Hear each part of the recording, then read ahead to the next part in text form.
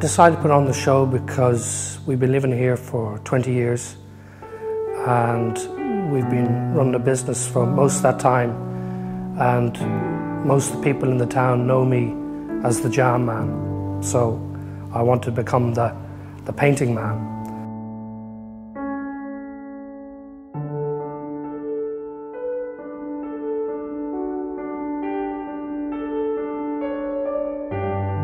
So this is this is my real passion, and I suppose this is a collection of some of the paintings I've done over the last five years.